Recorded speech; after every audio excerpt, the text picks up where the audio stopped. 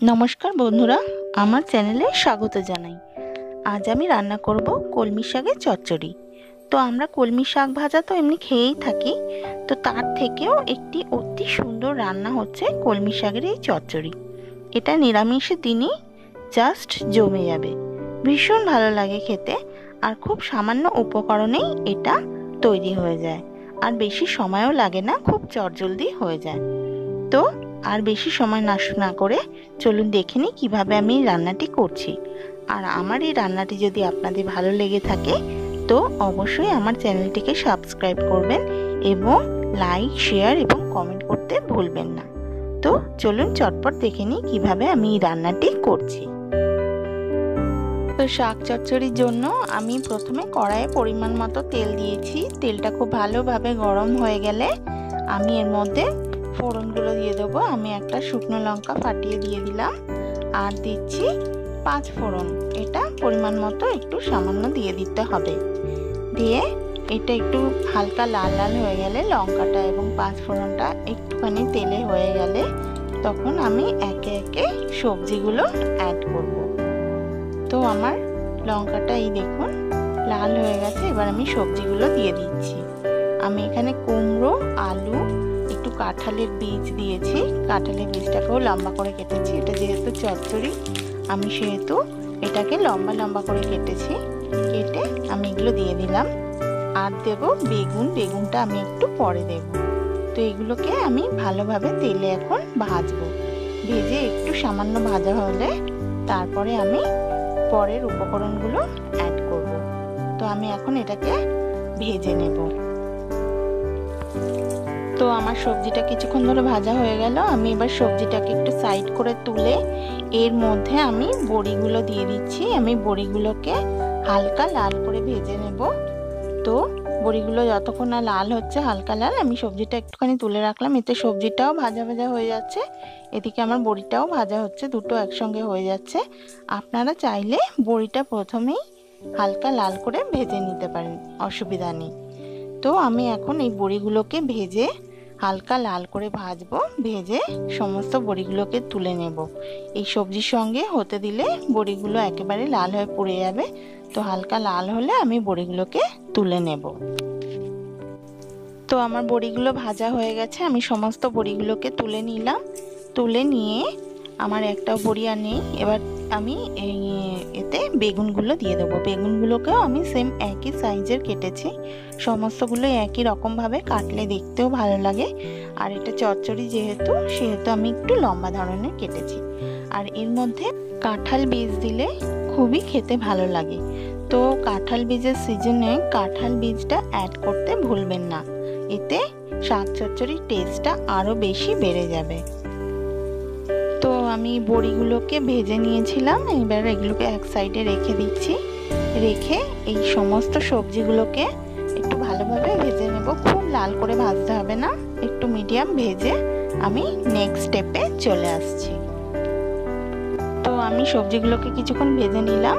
এরপরে আমি দিয়ে দিচ্ছি এক চামচ জিরে গুঁড়ো। এটা ছোট চামচে এক চামচ দিলাম। আর দিচ্ছি এক চামচ ধনে গুঁড়ো। এবং পরিমাণ মতো হলুদ। হলুদটা সামান্য পরিমাণে পরিমাণ মতোই দিতে হবে, বেশি দিলে টেস্ট আলাদা হয়ে যায়। এবারে এই সমস্ত উপকরণগুলো দিয়ে আমি সামান্য জল দিয়ে দিলাম যাতে মশলাটা না লেগে যায়। মশলাটা তেলের মধ্যে পুড়ে গেলে তখন টেস্টটা অন্যরকম হয়ে যাবে, বাজে লাগবে খেতে। সেই জন্য আমি একটু জল অ্যাড করে দিলাম যাতে না পুড়ে যায়। এবারে আমি এই মশলাটাকে ভালোভাবে কষিয়ে নেব। খুব ভালোভাবে কষাবো, জল দিয়ে দিয়ে তাহলে মশলাটা আর পড়বে না। তো এরপরে এই দেখুন তেল ছেড়ে এসছে। তো আমার মশলাটা ভালোভাবে কষানো হয়ে গেছে, একটা গন্ধ বেরোচ্ছে, আমি কাঁচা লঙ্কা দিয়ে দিলাম। এখানে আমি দুটো কাঁচা লঙ্কা চেরা দিয়েছি এবং পরিমাণ মতো চিনিও দিয়ে দিলাম এবং দিয়ে দিচ্ছি একেবারে শাকের পরিমাণ মতো নুন। শাকটা আমার এক এক আটি শাক ছিল, কিন্তু শাকে নুনটা কমই দিতে হয়, কারণ শাকটা কমে গিয়ে একদম কম হয়ে যায়। সেই জন্য নুনটা খুব পরিমাণ বুঝে দেবেন, বেশি নুন দিলে শাকে নুন হয়ে যাবে। সেই জন্য নুনটা খুব কম পরিমাণে দিতে হয়। দিয়ে আমি এবার সমস্ত মশলার সঙ্গে এবং সবজির সঙ্গে শাকটাকে ভালোভাবে মিশিয়ে নেব। তো এই দেখুন, আমি ভালোভাবে মিশিয়ে নিচ্ছি।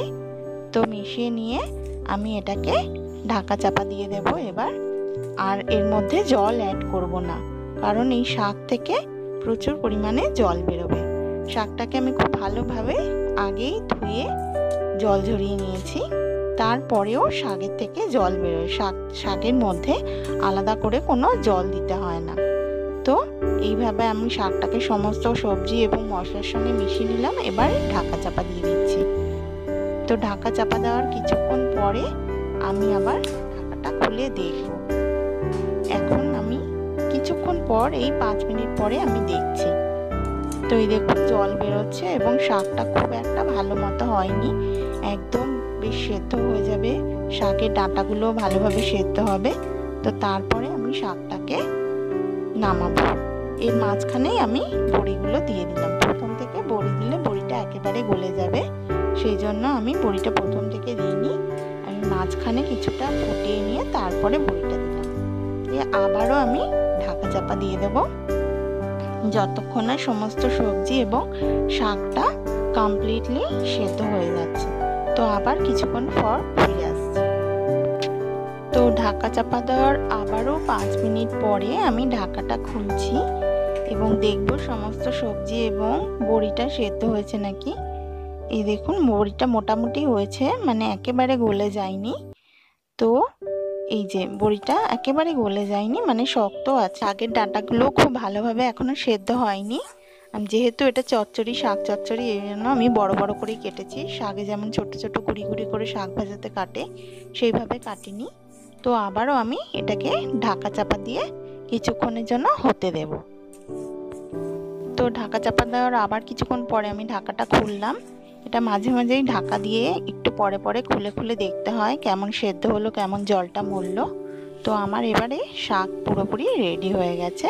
তো আমার কলমি শাক চচ্চড়ি একেবারে রেডি টু সার্ভ তো আজকের মতো এই পর্যন্তই, দেখা হচ্ছে আগামী কোনো নতুন ভিডিও